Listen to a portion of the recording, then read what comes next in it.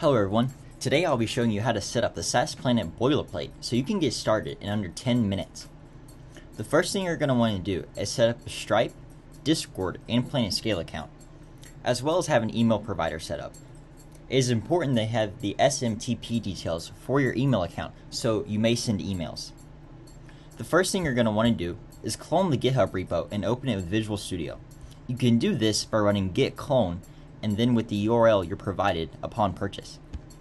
In order to install all the dependencies, head over to your Visual Studio, open the terminal, and run npm install.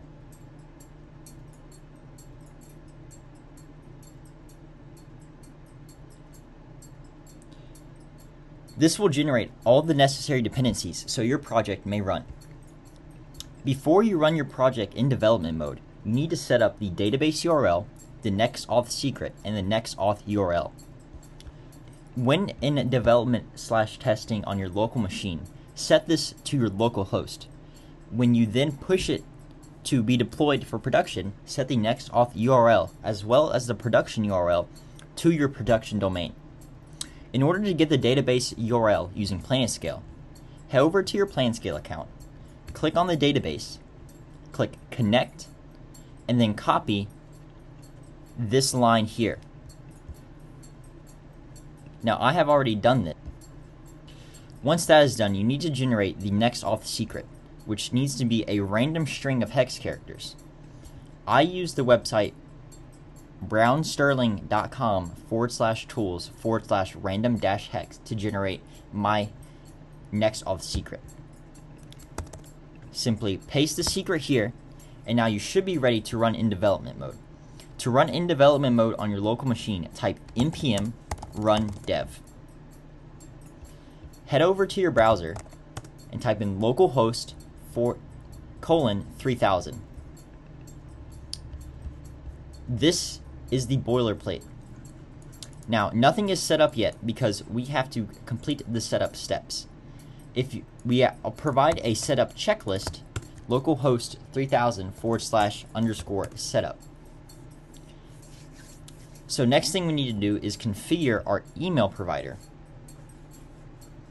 So you will need to grab the SMTP details for your email provider and paste them here. Once your details are pasted, you will then need to set up a Discord application if you would like to authenticate with Discord.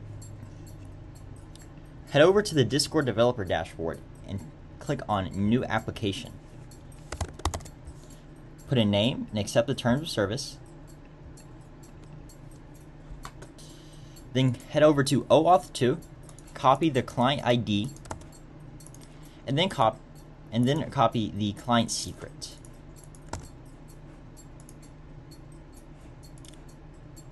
Make sure you copy it correctly. After that, you need to define the redirects. In the documentation, we lay out all the redirects you need to define. After you set up your Discord account, you will need to set up your Stripe keys head over to the Stripe developer dashboard and copy and paste your keys. In order to receive updates from Stripe when a client purchases or fails to pay an invoice, you need to set up a webhook. To do this, click on Add Endpoint. Type in your production URL. So, for instance, if your production URL was example.com, type in https example.com forward slash API forward slash stripe forward slash stripe webhook. You want to listen to all events. Click add endpoint and reveal the signing secret and put the signing secret equal to the Stripe webhook. So Stripe webhook equals your signing secret. You may skip this step until you have a production URL, but you will not be able to receive Stripe events until you have this webhook signing secret and a webhook setup. So now that you have that set up, you can head back to the browser where your application is running, and you should now. So you can sign in with Discord on our test application. You will be able to use the user dashboard. To access the admin dashboard, type in whatever URL you're using. So if you're on test If you're testing in development, you'll use localhost 3000 forward slash admin. Now, this account does not have admin access. If you do not have an account with admin access, head over to localhost 3000 forward slash underscore setup, and you may select a user to grant admin access to.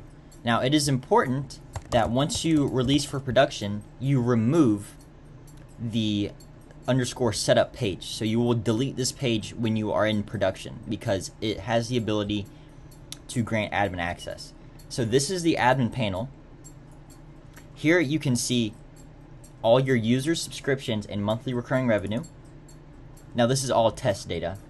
Uh, as you see here, it will warn you if you're using um, an improper email account or in test mode. Now I do have do not have my password set up in the uh, environment, so that's why it's giving me this error. But um, if I did, this error would not be here. So here you can manage all your users. You can manage subscriptions.